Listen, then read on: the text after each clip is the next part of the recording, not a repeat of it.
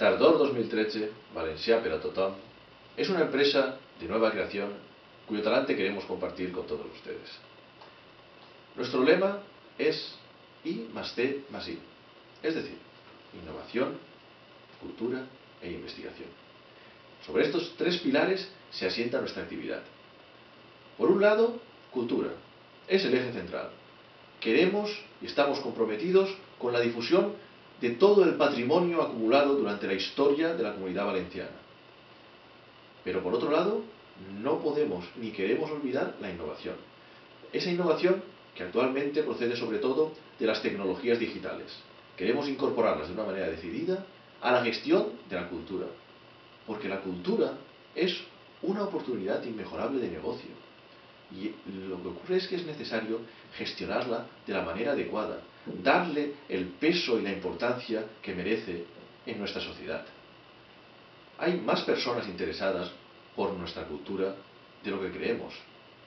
Quizás es necesario ofrecerles esa cultura, esas diversas manifestaciones que conforman nuestro patrimonio, de una manera atractiva, de una manera que les haga sentir que han adquirido unos conocimientos relevantes y que gracias a esos conocimientos son capaces de elaborar análisis sobre el entorno, sobre la sociedad en la que viven, que son capaces de conocer la historia, de explicarse cómo han llegado a ser lo que son.